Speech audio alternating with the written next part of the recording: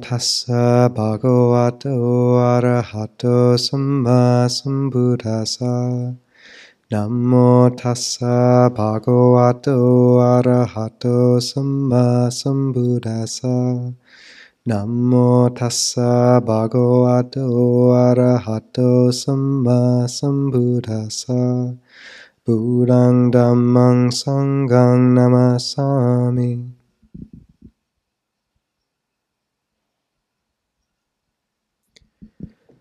So, who here has heard of the word papancha? Oh, good. Okay, we're somewhat versed in this term. Many of you will know the usual translation of papancha as proliferation. And I realized several weeks ago that it's not actually a term that I'd spoken to yet, and yet it forms such a core part of most of our lives so, for those who aren't familiar, the term papancha is one the Buddha used to talk about conceptual proliferation, uh, although Ajahn Jeff translates it as objectification. And it's the process wherein, after conceiving of a fixed self through which we, by which we perceive experience, we move into vast storylines and our minds run off without us, basically. It's how many of us spend a great deal of our meditation time and life.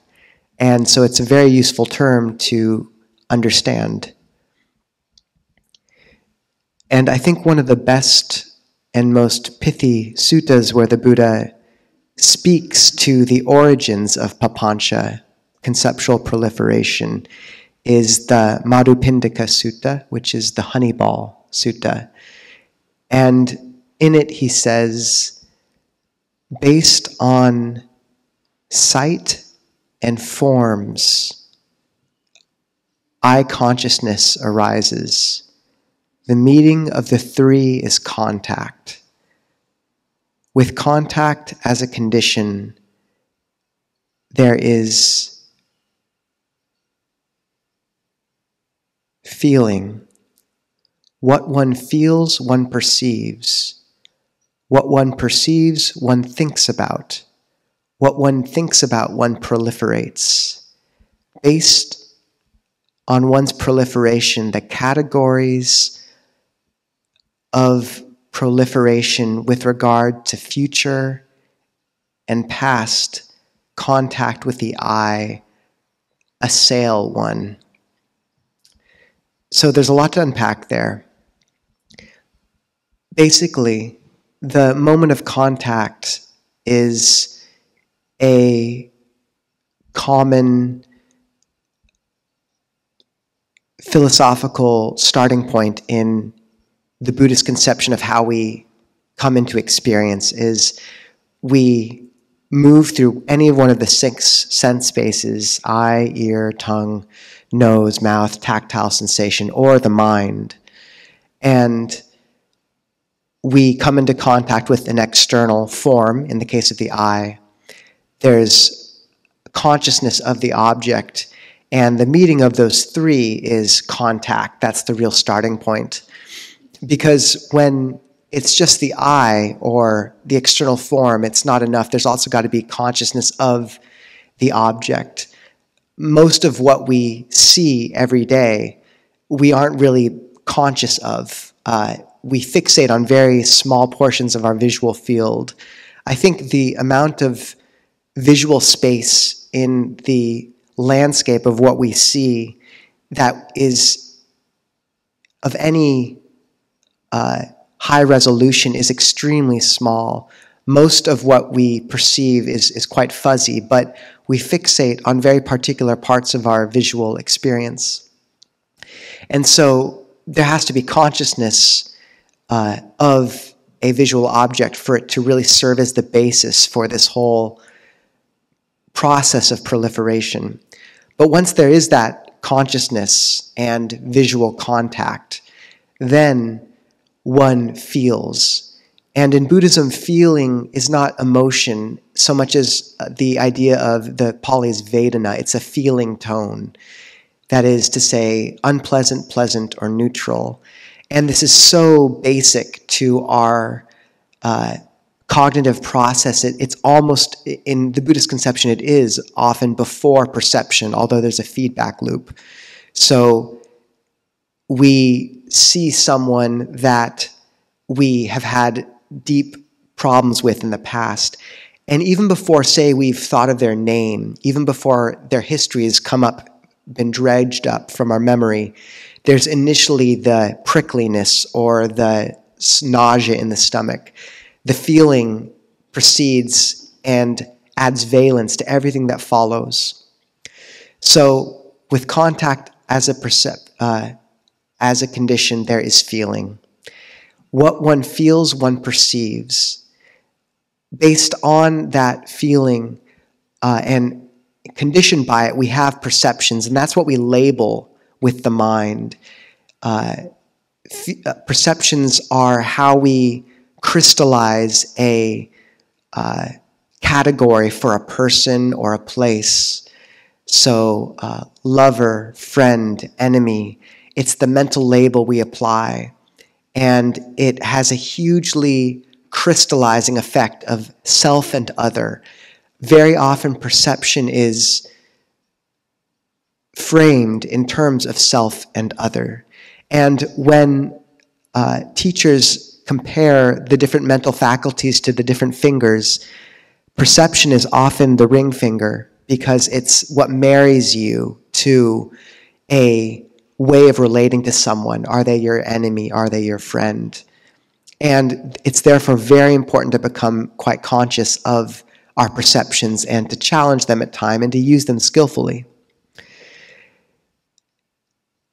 And it's important to see here that up until that step in the sutta, all of the process has been framed in impersonal language. With the arising of eye and forms, there is consciousness. The meeting of the three is contact. With contact as a condition, there is feeling. And then the pronoun enters. What one feels, one perceives. So the sense of self enters with perception. This is really where things start to rev up and we get involved. And what one perceives, one thinks about. And then what one thinks about, one proliferates. And then the real, uh, the real cherry on top is based on that proliferation, proliferation about future contact assails one. Our own creations turn on us and devour us and torment us. And this is much of our lives. There's so much in the sutta. What one perceives, one thinks about. What one thinks about, one proliferates. One's proliferations assail one. So, who has felt assailed by the proliferations in the past? Yes. Good. So, I think uh, never mind. Ajahn Jeff has an interesting metaphor about this, these proliferations as chickens that you feed uh, and then they come and peck at you at night. I think he calls them like man-eating chickens or something. It's a very clickbaity ti- title. It was a good one. um, and so this idea of proliferation, what we create gaining momentum until it turns on us, these Frankensteins, uh, which are these programs with their own momentum. And how do we learn to hamstring that process? The Buddha has another sutta where that's quite illuminating about the origin of these proliferative processes. It's called the Tuvataka Sutta. And a Brahmin, I think, or another mendicant comes to the Buddha and says, I asked the seer, the kinsman of the sun, which was uh, a word that the Buddha used or was uh, addressed to him. What, how is one freed from suffering and achieving and achieves the state of peace? And the Buddha says one should put an end to the starting point of all proliferations. That is the thought, I am the thinker. So as soon as we have this perception self reflexive thought of me and other. It creates the ground for so much suffering and unnecessary thought. This is the starting point. And from there, we're off to the races. So it, it's really useful to see that this is why so many of the ways the Buddha told us to apply right attention, so many of the Buddhist frameworks are not, they don't feature the idea of self. The Four Noble Truths, you're looking at experience as stress, the origin of stress, the cessation of stress, peace, and the path. There's no self in those. Um, looking at things in terms of the six sense bases, uh, the five aggregates of body, feeling, perception, uh, mental formations, consciousness, these different focal points of identity, but it's ways of breaking down experience into refined slices of the pie, so to speak, rather than just taking one big pie of self and kind of smashing yourself in the face repeatedly, which is where most of us are. And I think the Buddha, his brilliance is really laying out this process in detail. In the second discourse in the Majjhima Nikaya, the Mulapariyaya, uh, sorry, the Sabbasava Sutta, he says, one attends inappropriately to experience by thinking, was I in the past? What was I in the past? Was I not in the past? How was I in the past? Having been what, what will I become in the past? Or one thinks, will I be in the future? Will I not be in the future? How will I be in the future? What will I be in the future? Having been what, what will I become in the future? Or one is inwardly perplexed about the present, thinking, Am I? Am I not? How am I? What am I? Having been what, what will I become? So he pretty much nails all of most of 90% of our thinking right there in a fell swoop and, uh, and says, based on these thoughts, one of several views arises in one. One has the view, I exist. One is the view, I do not exist. One is the view, uh, it is through not self that I perceive self. It is through self that I perceive not self. And it goes on through pretty much every proliferation of Western philosophy over the last 2,500 years. And the Buddha says these are all inappropriate ways of attending to experience. These are all prapancha. When one attends correctly to experience, one attends thinking, this is suffering. This is the cause of suffering. This is peace, the cessation of suffering. And this is the path to peace. Those four. Everything else he says, and this is a phrase worth memorizing, is a thicket of views, a writhing of views, a contortion of views. Trapped by a contortion of views, one does not come to the end of stress. So, seeing how we begin with a thought of self and quickly that solidifies into self and other, and quickly we become afraid for that self and proliferate into the future about what might happen or what has happened and remorse or regret or resentment. All these are proliferations that turn on us and are at their most fundamental based on a delusion. They stand on nothing. And when the Buddha speaks of how to hamstring them, often it's as simple as just applying the Four Noble Truths and saying, oh, this is suffering. And really, that is often enough. Can you find yourself in the midst of running through that old argument again and just saying, oh, this is dukkha?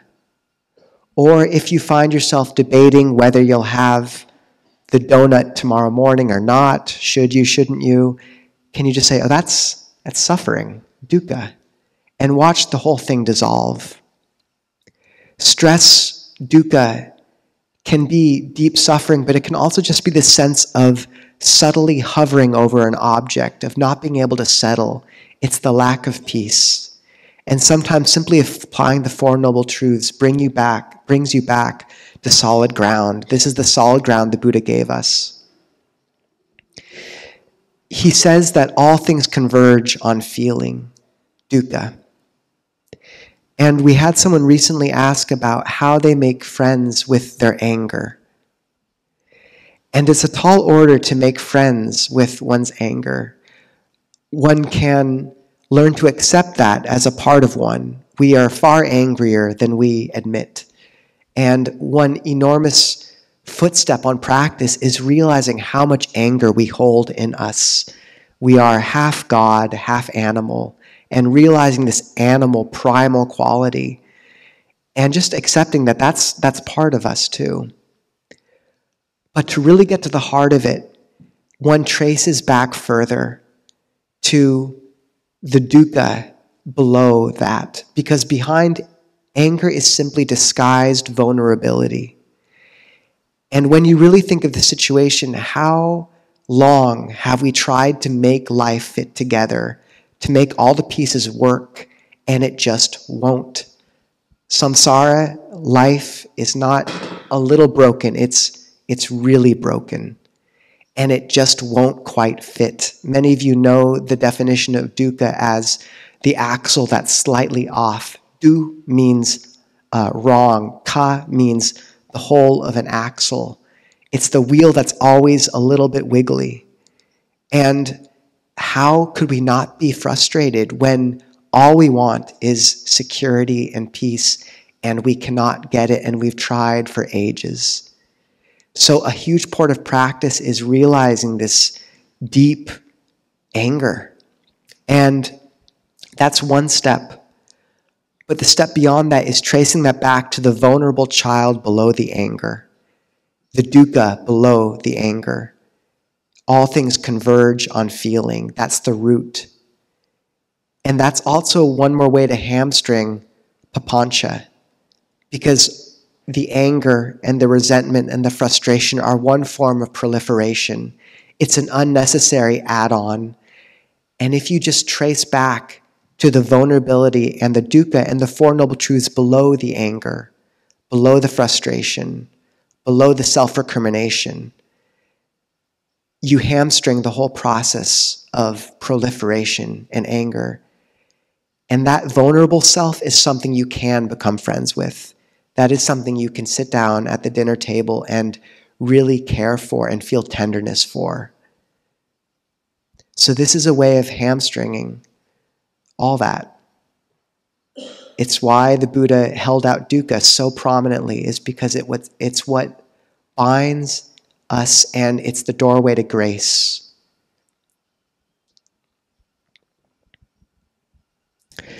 Other really useful ways of stopping papancha, hamstringing it. First, one can do what Ajahn Amaro calls tracing back the radiance, which is when you find yourself five minutes out on a fantasy about penguins in Antarctica, Antarctica, something crazy where you've been meditating and you just, you don't know how you got where you are, but there you are. See if you can walk yourself back through the steps that got you there, thought by thought by thought, and find yourself usually you'll come back to some small impression hearing a bird outside and that kind of sounds like the bird at your grandmother's house and your grandmother and you never really solved that argument you had over your brother right but your brother was kind of a jerk and really you should call him it's been a while but uh, you know etc so trace back trace the radiance back to the initial spark and if you do that repeatedly you do become much more suspicious and aware of those movements of the mind. Another is this resonates well with a, a Buddhist sutta where he said that one can have three kinds of mind. One can have a mind like stone, which is where one is easily angered and the anger lasts a long time, like letters carved on stone. One can have a mind like sand, one is easily angered, but it fades quickly, like letters drawn in sand would be blown quickly away by the wind. Or one can have a mind like water, where any impression fades immediately and one is not angered. And this is a technique Ajahn Jayasaro gives where if you find yourself in the middle of a repeated proliferation or a thought, imagine writing the words on water. Instead of thinking the words out loud, write them on water and watch them dissolve and watch the mind just let go. Another is if you find yourself caught in a feedback loop of repeated uh, a certain phrase, like, I would really like a cup of coffee, just repeat that last part of the phrase again and again until it loses its meaning. A cup of coffee, a cup of coffee, a cup of coffee, a cup of coffee. And see how quickly it becomes utterly, it loses all of its valence. Sometimes you can't stop a thought right away, but you can just put it on that weird cycle until it dissolves of its own accord. The other is to attach a Dharma reflection to the end of a sentence. So if you find yourself in a repeated proliferation, um, you know, I'd really like to, how could they possibly do that? And then just tag on, and that's anicca, or and that's dukkha, or and that's anatta. That's impermanent, that's suffering, that's not self. Whatever phrase kind of works for you, rather than trying to cut the thought off, just tag on that bit of Dharma at the end to every sentence you're formulating in your mind and watch how that lets things fade quite, quite quickly.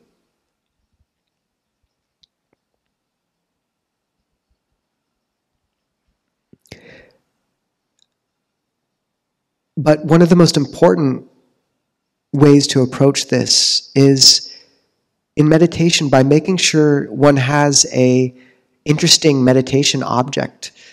We had someone during uh, Wednesday's session ask, How do I catch this process of proliferation earlier? And it's useful noting that the mind will search for distraction if it's bored. And if meditation becomes a rote practice in using the will and just the will to bring yourself back to a simple and perhaps uninteresting meditation object time and again when the mind is used to far more uh, stimulating fodder like Netflix or whatever, then it will search for something more interesting. And so we need to work with that impulse and make your meditation interesting and engaging. Meditation should be playful, it should be fun. And to do that, you need to bring to bear tools on it.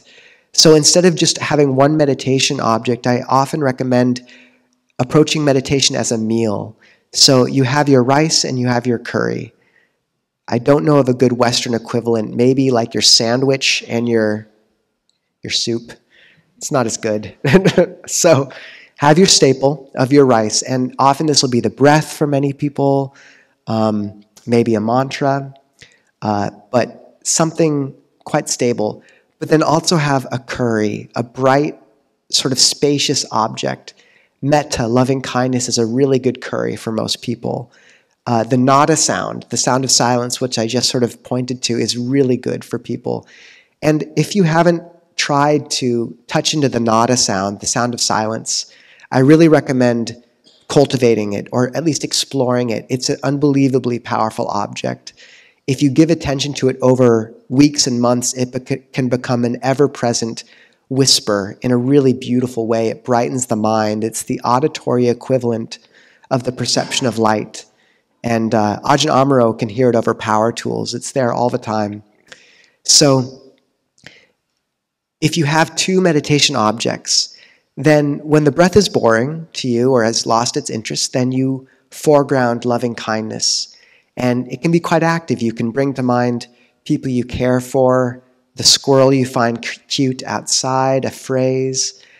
Um, and then once you've sort of used the mind's energy on that and the mind has lost interest, it might circle back to the breath. And so you foreground the breath and background the uh, the loving kindness and just keep this gentle sense of friendliness in the back. And having a tool belt of meditative objects like that to cycle between keeps engagement. You can mix together recipes. And similarly, uh, the Buddha spoke about different mental activities or types of mental activity, or it's not just mental, types of activity internal to your experience. There's bodily, verbal, and mental. So for every meditative object, there's these kind of three ingredients you can mix in. So verbal is the phrase you repeat to yourself. Mental, chitta sankhara, is a perception or an image. And kaya sankhara, bodily activity, is the sense in the body. So for metta, the curry, you have three ingredients. You have the sort of sense of warmth in the heart.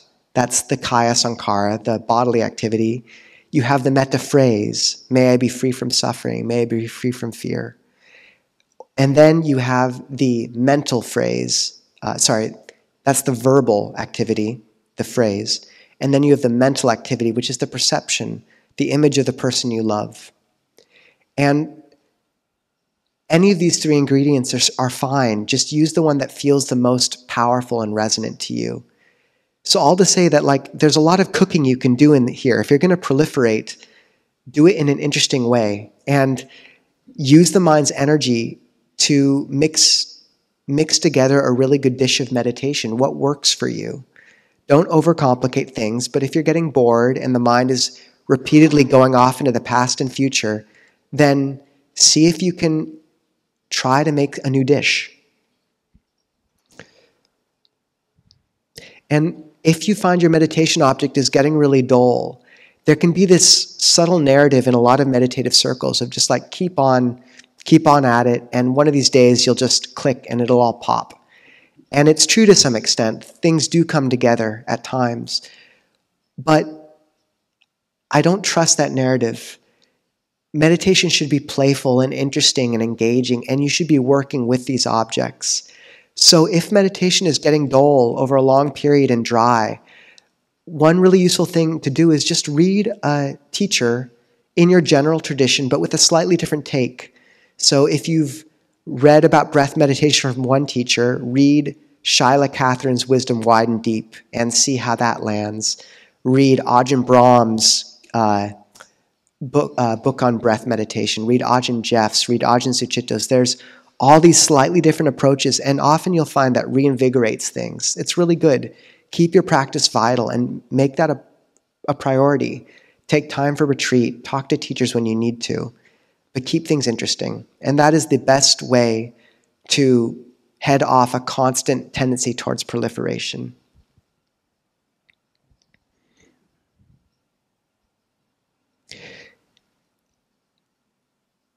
The Buddha would also praise a quality called Nippapancha, which is non proliferation. And uh, I've heard it translated by Ajahn Jeff as similar to purity of heart or singleness of purpose. And I think that speaks to something very important in meditation because it means that lack of proliferation doesn't mean a complete state of silence of mind, but it rather means that you have a singleness of purpose. Your mind might be playing with the meditation, mixing together ingredients, but it's staying within the realm of the four foundations of mindfulness. It's staying within the designated realm of your meditation. So it can be moving, but it has a singleness of purpose to it. But very importantly, that term can apply to a life. I remember, uh, and I've told this story before, coming to the end of college and just, I lived a good college life. I did nonprofit work, but it always felt like I was approaching the good, but at a slight angle. It never was quite enough. And because my heart didn't have a stream bed deep enough for it, and a real image of transcendence and a worthy goal in life, it's as if it had no choice but to fracture itself into all these turbulent, shallower streams of top 40 radio, the Hunger Games, bad fantasy books, watching StarCraft online. I'm just, these are all my old vices. And they're not terrible, but the point is they cheapened my life. But until I found Dharma, there was, the heart didn't know what else to do.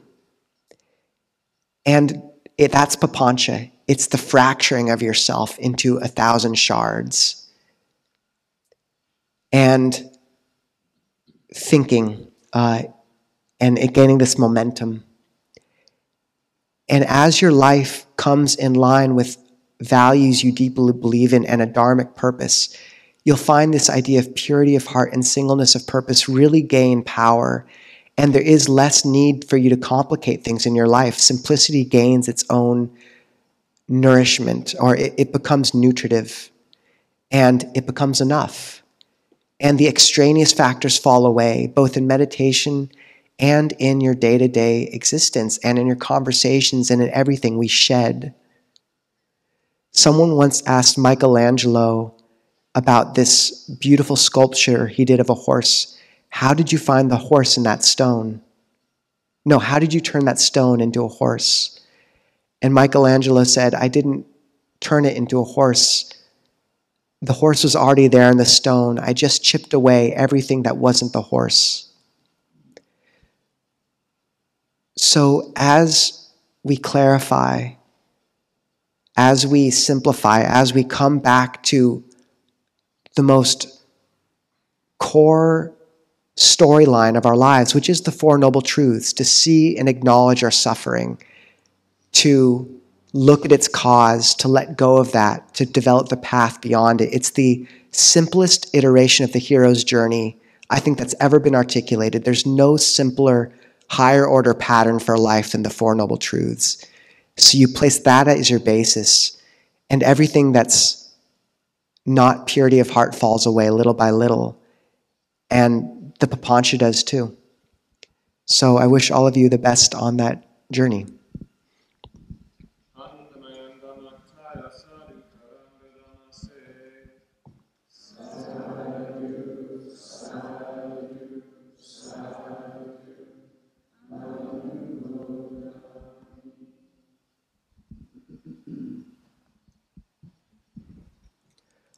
Okay, so we have some time for discussion and Q&A if people have anything they'd like to talk about. And if you're on Zoom, you can raise your Zoom hand and we can call on you as well or type it into chat.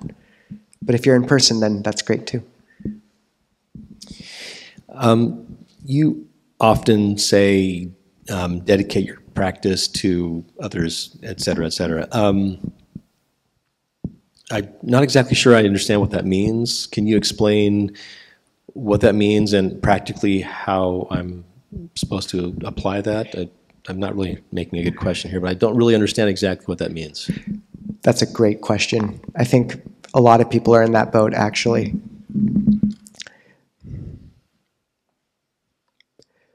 So there's a sutta where the Buddha spoke about dedication of merit. Um, a Brahmin comes up to him and I think says, What should I do for my deceased relatives? And the Buddha says, You should dedicate goodness to them and merit. And if they're in the ghost realms, then they can receive it. And the Brahmin says, What if I have no relatives in the ghost realms? And the Buddha says, It's impossible. You've lived for so long. We all have relatives in the ghost realms. And it's this beautiful recollection if one takes that idea of rebirth or just takes it symbolically, is that we've all been each other's mothers, daughters, brothers, sisters, um, enemies, lovers, everything. And merit means goodness, it's punya. So it's, it's happiness, it's, it's wholesome happiness and goodness. And the act of dedicating merit is recollecting it, has numerous um, purposes. It's not an esoteric economy. Uh, first, it's for yourself to remember that this meditation practice isn't just for you. The world needs people with a clarity of heart. And when you let go of greed, hatred, and delusion in yourself, you, you do see the ripples out, and it is such a gem for people around you to have that in their lives. So it's recollecting that and kind of turning our intention towards that and remembering this isn't just for us. So it has an internal benefit of keeping us from becoming too self centered in our practice and turning those causes out. But the Buddha did also say that, you know, there is more than just this physicality between beings, and there is a certain resonance, and others sometimes can feel your intentions to some extent. And so a dedication of merit in that case means that uh, the Buddha spoke about beings that could sense um, you thinking of them. And if you bring someone to mind, especially someone who's passed, um, and you think about every culture except ours pretty much has a recollection of the dead, a day for it at least. So your ancestors or whatever. Um, bringing them to mind and saying, I dedicate this goodness to you, what it's saying is it's inviting them to identify with your goodness and rejoice in it. And that's a brightening of their own hearts. And you kind of think about it like if you know someone did something good and then thought of you and they, they tell you, look, I did this in your name, you know, it made me think of you. I, I did this for you, you know, in your name. It does make you feel good. So that's, that's it. That's really the simplest part. But the Buddha said there were some realms of the cosmos where that was really what people had access to. And so it's a recollection of the dead um, and of those who have passed as well. But once again, that requires a certain belief in a cosmology, which I think a lot of people aren't uh, ready to believe in. And so I think it's most readily applied as simply a way of remembering that we aren't just practicing for ourselves. So, yeah, does that help? Okay. Yes, Mary, please. Whoa. Yeah, John. Hello, everybody. I just wanted to um, talk to, just mention a little bit of this point that you made about all things converge on feeling, on Vedana. Um, and I've recently been able to put that a little bit into practice with, I've been experiencing some back pain in my body. And um, usually when it comes up, my my reaction had been to, you know, feel the pain, study it, um, and and all sorts of ideas about this means this and this means that, and you know the stories about how it came, the whole development story of it, and you know it was consuming. And then one day I just went, this is unpleasant. This is an unpleasant feeling.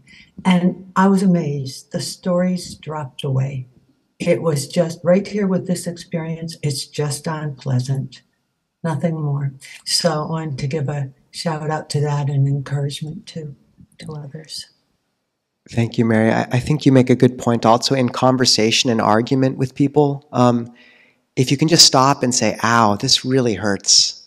Like, just come back to your own suffering. It's so disarming to the whole situation just to acknowledge suffering. So, yeah, thank you for that, Mary. Thank you for the admon.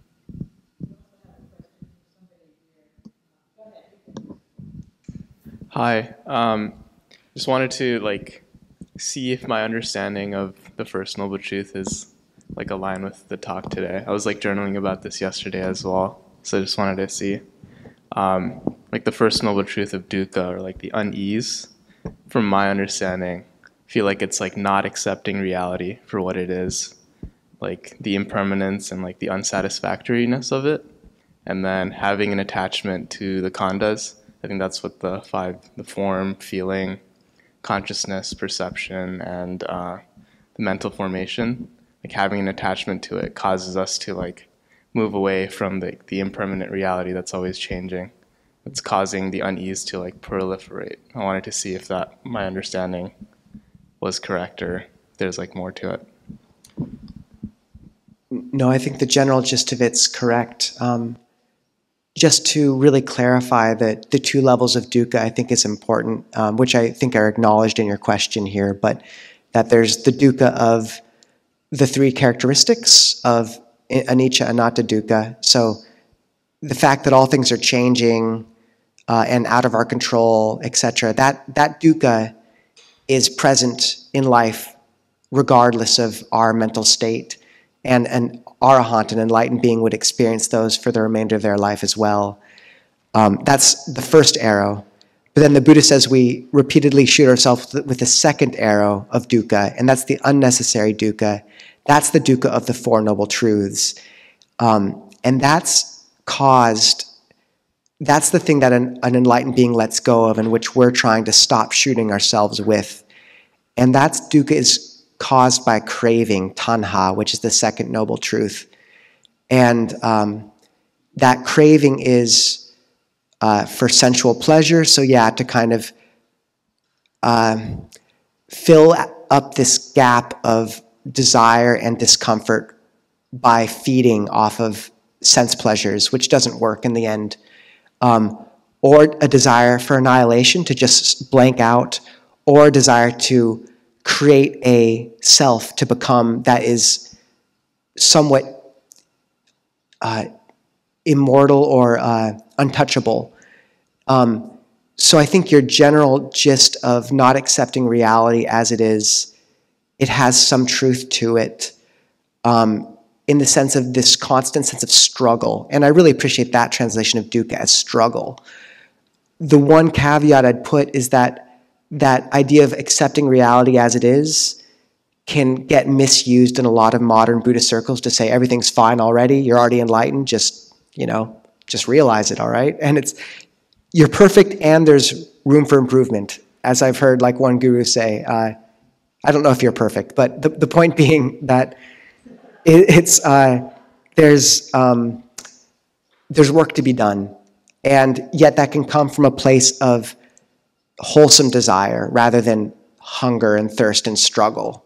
So, yeah, the general gist is right, um, and uh, yeah, we just have to find a wholesome way to apply effort to let go of those causes of suffering. Yeah, did that help at all?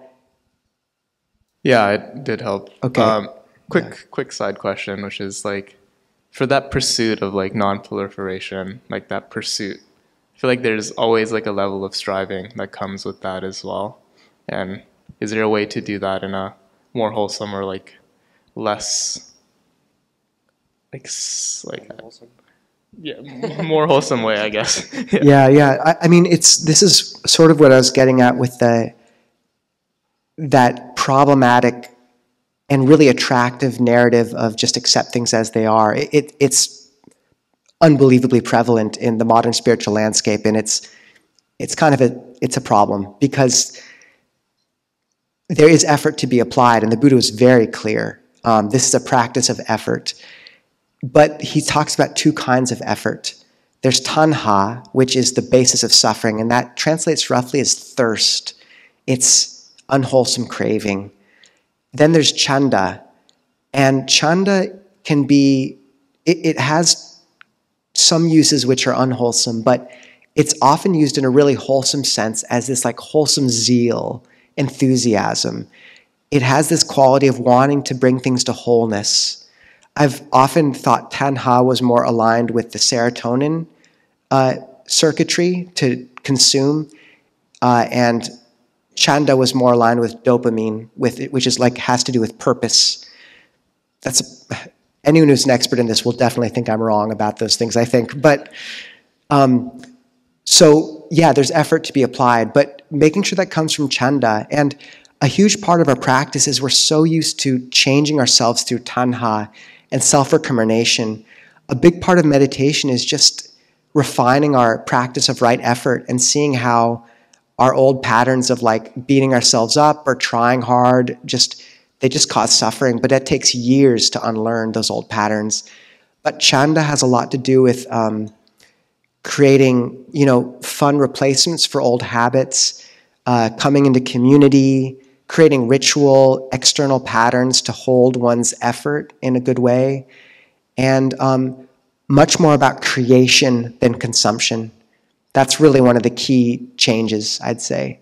So yeah um, that's important. But that is what i was speaking to with learning to apply effort in meditation. Like our minds want to do stuff. We're, we're conditioned to think a lot in this culture.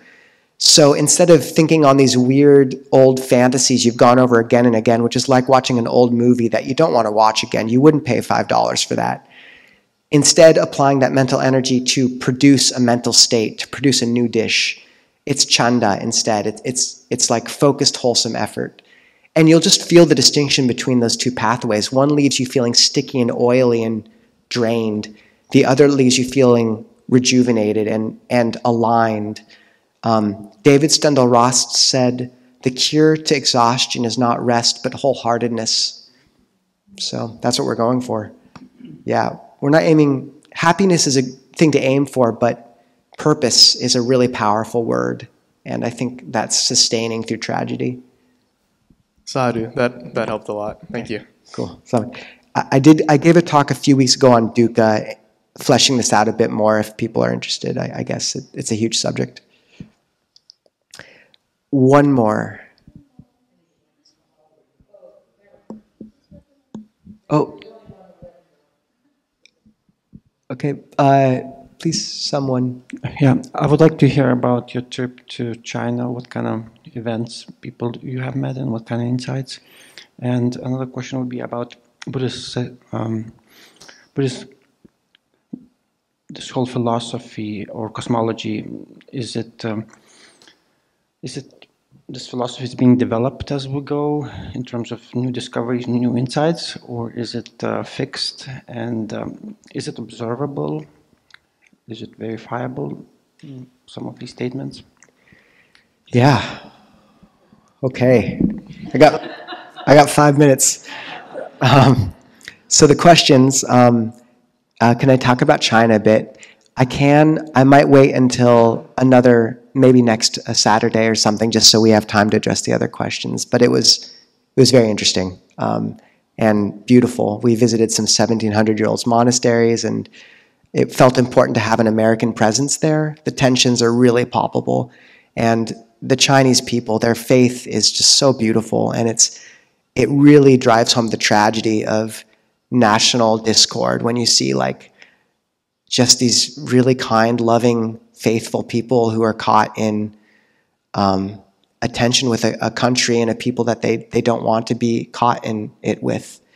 Um, so that was that was a, bit harrowing actually to see that but beautiful to see their faith, and, and I can speak more to that as well.